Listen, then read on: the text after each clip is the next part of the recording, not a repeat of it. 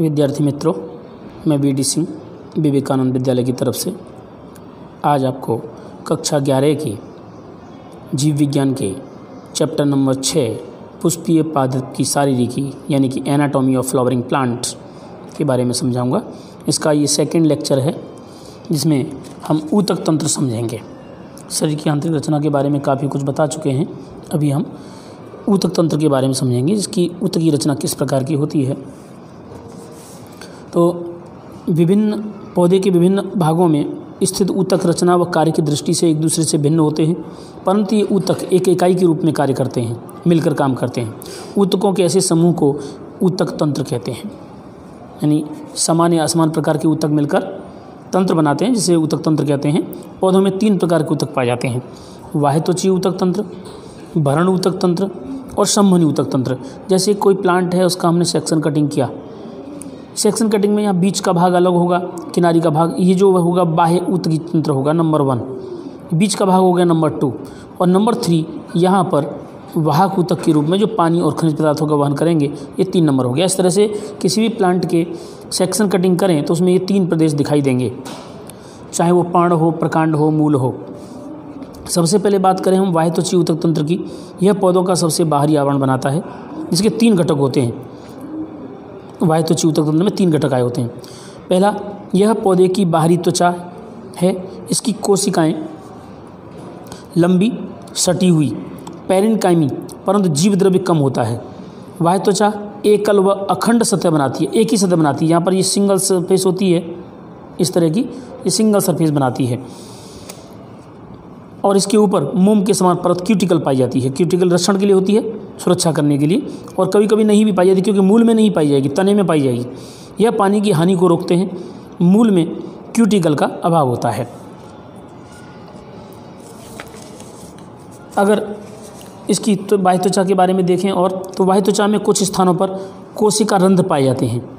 रंध्र पत्तियों व तने की बाह्य त्वचा पर पाए जाते हैं। प्रत्येक रंध्र में सेम के बीज के आकार की दो कोशिकाएँ होती हैं, जिन्हें द्वार कोशिकाएँ कहते हैं, गार्ड सेल्स कहते हैं। यहाँ पर चित्र में दिखाई दे रहा है आपको। ये गार्ड सेल्स हैं, रंध्र। इन्हें हम रक्षक कोशिकाएँ कहते हैं। घास में द्वार कोशिकाएँ डम्बल आकार की होती हैं, जो आपको यहाँ दिखाई दे रही है डम्बल आकार की। ये ब्लू कलर की जो है डम्बल कोश हैं, और ये रेड कलर के दिखाई दे रहे हैं, वो आपको सहायक कोष दिखाई दे रहे हैं।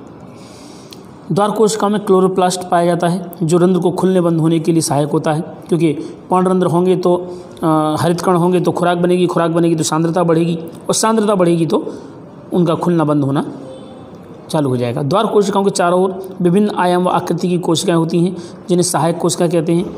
रंध्र वाष्पोषण और गैस बनने में सहायक होते हैं। ये गैस बनने में भी करते हैं ओ लेते हैं सी निकालते हैं यहाँ से। यहाँ पर प्रकाश संश्लेषण करने के लिए क्लोरोप्लास्ट भी पाया जाता है। अधिक मात्रा में पानी हो, उसको हवा में उड़ाने के लिए वाष्पोषण करने के लिए भी ज़रूरत होती है। तो वाष्पोषण गैस बनने के लिए सहायक होते हैं। इनके ऊपर कुछ रोम पाए जाते हैं, वायु त्वचा पर। पौधों की वायु त्वचा की कोशिकाएँ अतिवृद्धि करके रोम बनाती हैं, जिसके बारे में आगे बताएँगे। मूल की वायु त्वचा में एक कोशी मूल रोम होते हैं और तने में बहुकोशी रोम मूल रोम होते हैं। कुछ तनों में होते भी नहीं हैं, अनुपस्थित होते हैं। ये मूल रोम तने में शाखित या अशाखित, नरम या कठोर होते हैं। त्वचा रोम वाष्पोषण को कम करने के लिए होती है। तो ये हुआ वाह्य त्वचा ऊतक तंत्र। दूसरा है भरण ऊतक तंत्र। भरण मतलब जो भी खाली जगह बचती है तने के अंदर। तने के अंदर या मूल के अंदर वाह्य त्वचा और संवहनी पुल के बाकी की सारी जगह भरण ऊतक कहलाती है। वाह्य त्वचा और संबंध लिखाई है वाह्य त्वचा व संबंध ऊतकों को छोड़कर पादप शरीर का मुख्य भाग भरण ऊतक से बना होता है। यानी जितनी भी जगह खाली मिलेंगी, वहाँ पर भरण ऊतक होगा।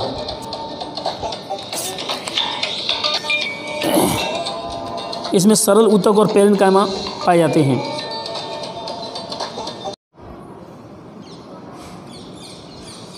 भरण ऊतक तंत्र वाह्य त्वचा व संबंध ऊतकों को छोड़कर पादप शरीर का मुख्य भाग भरण ऊतक से बना होता है। इसमें सरल ऊतक, जैसे पेरिन कायमा कॉलिन कायमा व स्कलन कायमा होते हैं। ये तीन तरह की कोशिकाएँ होती हैं। ये तीनों में पहले पढ़ा चुका हूँ। जड़ों व तनों में भरण ऊतक निम्न में विभेदित होता है, जैसे कि वलकुट। जो भी मैंने चित्र बताया था, उसमें वलकुट था। जैसे कि इसमें देख लीजिए, अभी मैं बता रहा हूँ।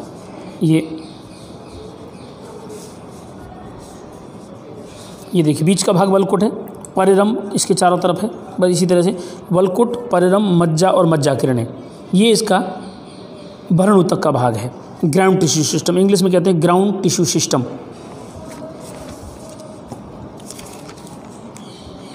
ये मध्य पर्णों तक मीजोफिस पत्तियों में भरण उतक के रूप में क्लोरोप्लास्ट युक्त होता है, जिसे मध्य पर्णों तक कहते हैं। मध्य पर्णों तक मतलब पर्ण के मध्य में, पर्ण के अंदर की बीच की रचना, जो भरण उतक कहलाती है, जो कि अभी चित्र के रूप में बताएँगे। यहाँ पर तीसरा तंत्र है, संवहनी उतक तंत्र। संवहन उतक तंत्र, संवहन उतक तंत्र जैलम व फिलोयम से बना होता है। उसमें जैलम होता है, पानी को वहन करने वाला फ्लोएम होता है, खुराक को वहन करने वाला। द्विज पत्री पादपों में संवहन मंडल जैलम फिलोम व कैम्बियम से बना होता है, जबकि एक बीज पत्री पादपों में जैलम व फिलोम से ही बना होता है। यानी कैम्बियम नहीं होता। कैम्बियम मतलब दोनों को बांटने वाली बीच की रचना।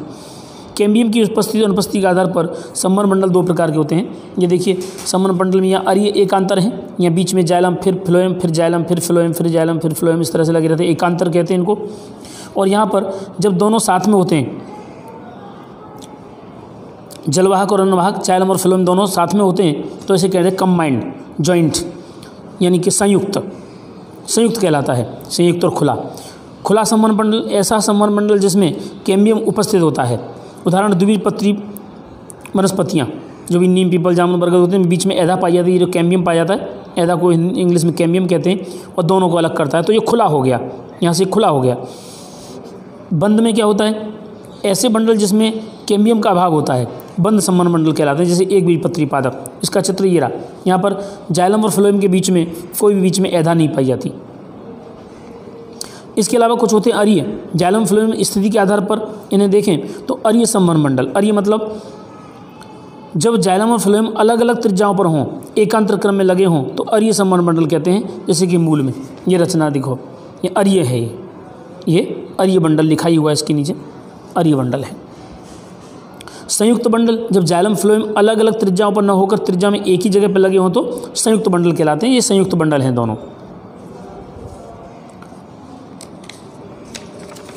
इसके अलावा इसकी बात करें तो वाहे त्वचा की तो यहाँ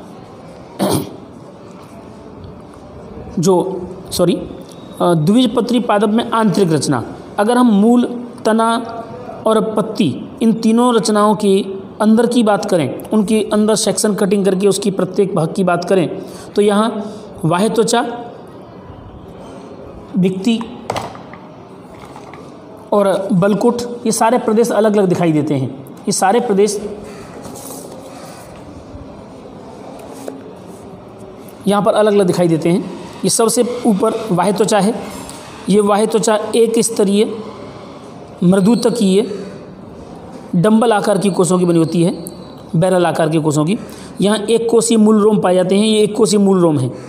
इसमें से निकलते हैं। इसके ऊपर क्यूटिकल का अभाव होता है। बाकी के भाग में ये बाह्यत्वची तंत्र हो गया। अब इसके बाद में यहाँ ये भरण उत्तक तंत्र है। पूरा का पूरा वलकोट है। मृदुतकीय, पतली दीवालों वाली, अस्थूलित कोशिकाओं से पूरा भरा हुआ विस्तार ये वलकुट कोशिकाएँ हैं। यानी कि भरण उत्तक तंत्र। इधर भी इधर भी, चारों तरफ़। भरण उत्तक का अंतिम स्तर परिचक्र होता है। अंतत्वचा और परिचक्र। दो स्तर यहाँ पाए जाते अंतत्वचा, यहाँ पर बैरल के आकार के कोषों की और बाहर की ओर से इसके ऊपर लिग्निन शुबेरिन का स्थूलन पाया जाता है, जिसे कास्पेरी पट्टी कहते हैं। कुछ कोशिकाओं पर कास्पेरी पट्टी नहीं पाई जाती है, जिन्हें हम पथ कोशिकाएँ कहते हैं। उसके बाद ही, बाकी का, बाद का जो विस्तार होता है, वो मध्यरमजन कहलाता है, जिसके अंदर जालम और फ़िल्म लगे रहते हैं। तो ये हुआ वाहित्वची उत्तक तंत्र, फिर संभरण उत्तक तंत्र, और संभरण उत्तक तंत्र में जो अंतत्वचा और परिचक्र तक पूरा विस्तार आया होता है। इसके बाद का स्तर जो होता है, वो होता है वलकुट जो मध्य में आया होता है, जिसे हम पिथ या मज्जा कहते हैं। ये भी कोशिकाओं के बीच में खाली स्थान को भरने का कार्य करता है। बाकी का विस्तार जो होता है, वो संवहनी उत्तक तंत्र का होता है। यहाँ पर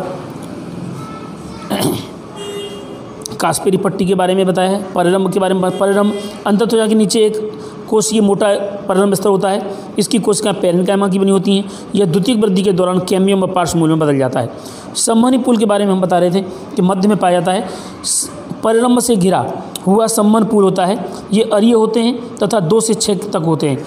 जाइलम फ़िल्म के बीच बीच में उपस्थित उतक कंजक्टिव उतक होता है। मज्जा द्विबीजपत्री जड़ों में मज्जा अनुपस्थित होती है। बहुत छोटी होती है।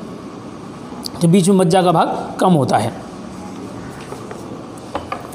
दूसरी बात करें, एक बीजपत्री मूल की तो एक बीजपत्री मूल में भी इसी तरह की रचना है।